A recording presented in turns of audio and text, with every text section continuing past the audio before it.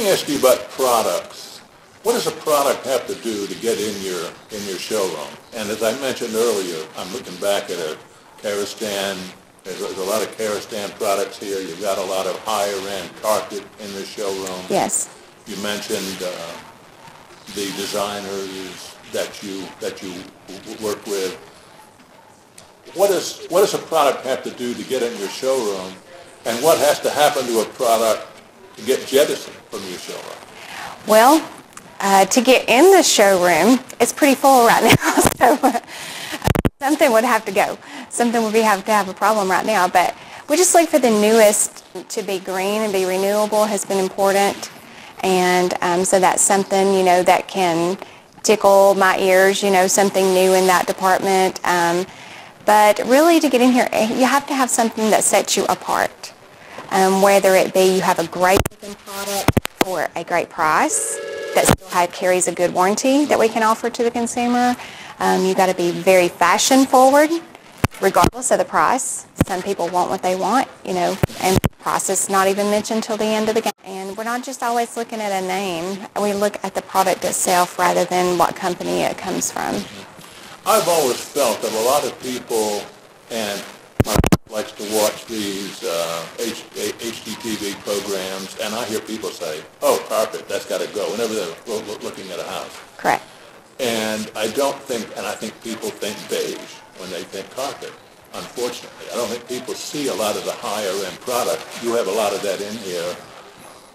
Um, how do you introduce that to people? I mean, if, if somebody, you know, obviously a designer, you know what they're lo- looking for, but somebody who maybe isn't necessarily looking for something like that. Someone who doesn't know beige is Yeah. on its way out. Yeah, yeah. And um, because that is really what we're seeing, beige, beige is going, and um, pretty much it's, it's really gone.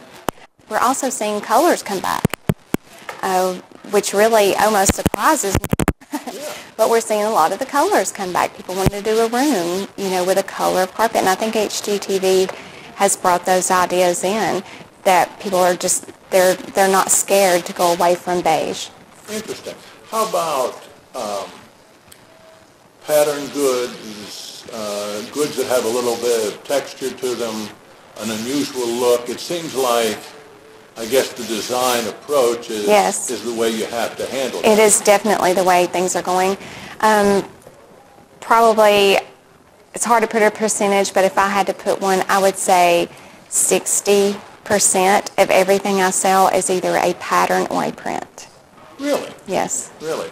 And that's to designers Well, that's to a, a residential,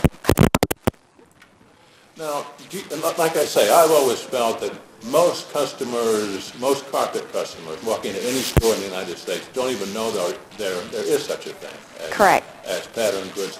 Do your salespeople make a point when it fits to have people at least see it? You've got Dixie back here. Absolutely. Absolutely.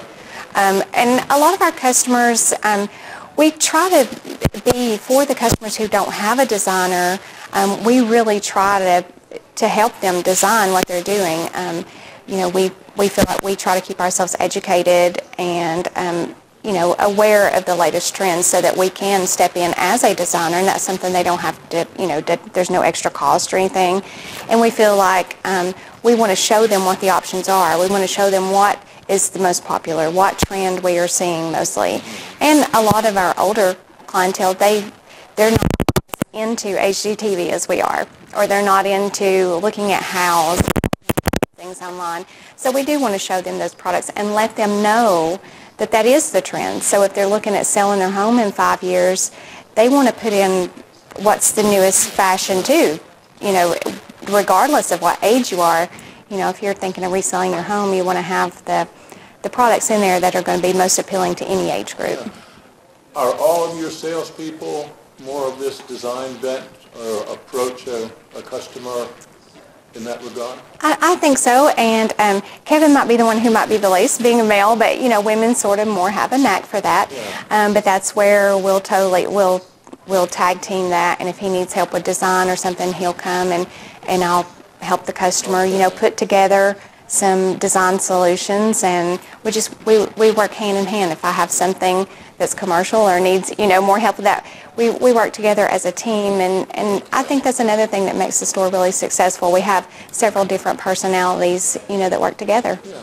So that really gives you license to show pattern goods where maybe a traditional straightaway sales type would have more. Right, because typically you see a lot of men in this business. And, um, or, you know, especially from the Dalton area, it's Yeah. kind of been a, a, a man's world for many years with a few women scattered in and out. But um, I think that the woman's touch when you're working in a retail location like this, I think it's very important. It's a real advantage, isn't It is, it, it really is. I was going to ask you a woman in a man's world, but uh, in the retail end, it's really a, a, a major asset, isn't it? It really is. Talk about your whole approach with your sales team. Uh, You know, it sounds like you, you work together very well. Um, Fewer people, as we mentioned, walk in the front door of any, any retail store. It's really imperative that people be converted into a sale. Yes. How do you make sure the salespeople that you have do that and are effective at it and, in essence, keep up to date, as, as you mentioned, with all the Right. things that they do? Well, we try to have maintain a really good relationship with with our distributors and our manufacturers. And um, as they come in, we try to ask them what what's the newest thing. You know, is there something that we're not offering that we should be offering? What are you selling the most of? In your locations. And we get that advice from them, and um, we try to do any kind of webinars or anything that we can get involved in. Um, we hired a new salesperson. I guess she's been here probably four four to five months, and um, she did not come from a floor covering background. So um, we sent her to the Mohawk University, and we've had her doing a lot of online training um, with Shaw and some of the other manufacturers. Um, we're having her do a, a webinar through Louisville Tile just to get some of that background about, you know, grout and, you know, different sizes tiles are available in, things like that. We have the installers. Sometimes we'll get with them on, you know, what are people doing, you know, what's keeping it, what, what can keep us on the forefront, you know. So just, I think it's just a, just a big mix there, you know, of staying on top of that kind Do of you stuff. have regular sales meetings with your sales staff? Well, since there's really three of us who are here in the office all the time, you know, we're within pretty much an earshot of one another. Um, we communicate all day, but usually we'll have a sales meeting and um, we do product demonstrations when I when one of the uh, reps will come in with a new product that I think would be a really good addition. Uh, before we bring it in, I'll try to have the other sales team come in and um, let the rep do a demonstration, show us all the, you know, wh- why we would want to carry this product and what the benefits of it would be. And then we'll all kind of, I mean, we'll just discuss amongst ourselves, is this something you think you could sell? Is this something you like? You know, what don't you like about it? What do you like about it? We try to make those decisions together since everyone would be selling it. Talk about the future.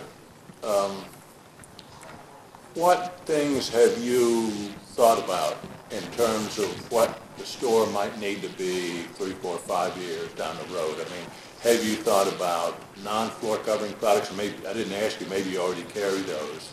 Have you thought about additional locations? Have you thought about perhaps a different location with a different approach, a cash and carry or something like that? Have you thought of any of those ideas? Is that something? Well, we think of a lot of those ideas. um, I don't know about another product. I think we all, we're, we're ground and floor covering. It's what we know. And I don't know that we want to really stray too far from that. Um, you know, we do the backsplashes and design elements with the tile, and that's been a stretch for us. And there, that's a place that we've all had to grow our knowledge, you know, is in that department. But we wanted to be a one-stop shop for your floors and your, you know, tile, and tile falls into that category.